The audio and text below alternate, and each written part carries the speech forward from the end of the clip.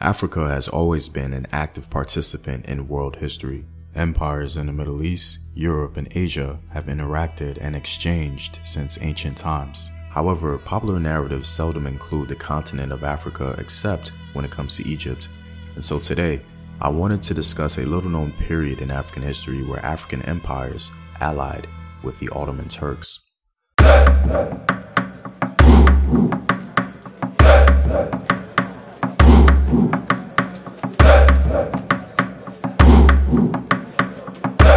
What up African world, it's Home Team here and welcome back to another video of African history, culture, and worldview. By supporting this channel on Patreon, you're helping in the creation of these videos and contributing to this content. The link to Patreon is in the description box below. Also, stay tuned with a word from my sponsors. Hello, my name is Howard Dorsey. I'm 54 years old. I'm here to talk about my uh, experience with herbal results. Um, I was getting sick, so I, I, went to the doctor. And they told me that um, my blood pressure was high, my cholesterol was borderline or high, so I was very sick. You know, I thought I was, sometimes I thought I was dying at, at some point. And uh, I ordered a bottle of olive leaf extract. This is, this is how the bottle comes in. And within the first probably week and a half, two weeks, I checked my blood pressure and it was back down to normal. It was like 120 over 80 my cholesterol went down to uh, 125. You know, I definitely believe that olive leaf extract from Herbal Results saved my life. And, I, and that's real. I mean, I, I, and I recommend it to everyone in my family, my friends, and we've seen a lot of results in that in that manner as well.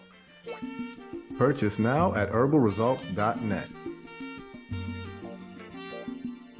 The Ottoman Empire was among the most powerful in the medieval world. African peoples across the Sahara, above and below, were certainly aware of it. The Ottomans interacted with African people in myriad ways, but perhaps the most interesting was the alliance between the Kanem-Bornu and the Ajuran empires. Let's first go over their alliance with the Kanem-Bornu state. In the 20th century, Ottoman letters were discovered in Istanbul, which concerned an embassy to Turkey sent from the African state of Kanem-Bornu, which at its greatest extent encompassed parts of Nigeria, Niger, Chad, and Libya. These letters illuminate the relationship between Turkey and Bornu in the 16th century. The ruler at the time was Mai Idris Aluma. He was undoubtedly one of the greatest rulers in Bornu's history.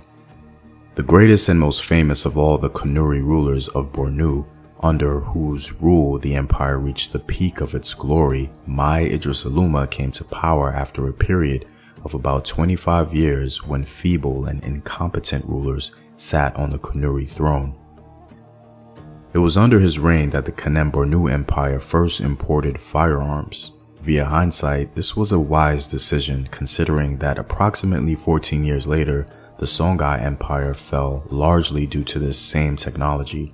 With the Ottomans reportedly providing technical assistance, Idris Aluma buttressed his rule scholars have demonstrated that Turkish technical assistance in the military domain aided Idris in his conquest of the surrounding tribes. Idris had much better firepower than his rivals and may even have had some Turkish soldiers in his entourage. Turkish technical assistance also included the training of African troops. It's interesting to find in the letters such high-level praise of Idris Luma. This was likely customary, but it goes to show that the African king was respected as ruler and was seen as any other powerful sovereign in the post-medieval world. The following is how the Turks responded to an inquiry of the African king in the Arabic version of one letter.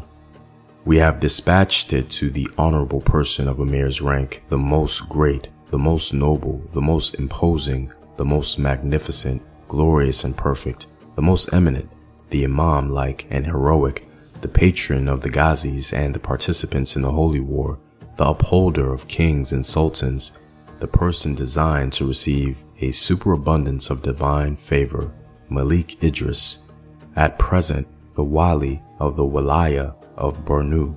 May the Almighty prolong his happiness and make his endeavors successful by right guidance. Let him accept our best greetings and high praise. Like the Kanem-Bornu Empire, The Ajuran Sultanate also made use of an Ottoman alliance in the 16th century. During this time, the Ottomans had established their dominance in the Indian Ocean. The Portuguese were beginning to challenge not only the Ottomans in the region, but also the Somali Empire of Ajuran. Mogadishu became a target of Portuguese ambition. As a reaction to the Portuguese threat, the Ajuran Emirate strengthened its relations with the Ottoman Empire in Istanbul. Both parties established military pact to collectively thwart the Portuguese threat in the Indian Ocean. As a result, the marine forces of Ajuran and the Ottoman Navy organized common expeditions to break the Portuguese blockades of the coastal town of the Indian Ocean. This cooperation reached its peak in the 1580s during Mir Ali Bey's command of the Turkish fleet in the Indian Ocean when a Somali-Turkish expedition was sent as far as Southeast Asia. The Turks allied with Mai Idris Uluma to help expand his empire and train some of his contingents, while simultaneously thwarting Portuguese ambition in the Indian Ocean by allying with the Ajuran Navy. It's a really interesting period of not just African history, but world history. Well, I'm all out, guys. If you like these videos and want to help in its continued production, consider supporting the home team on patreon.com. The link is in the description box below. Know thyself. Remember your ancestors. Peace.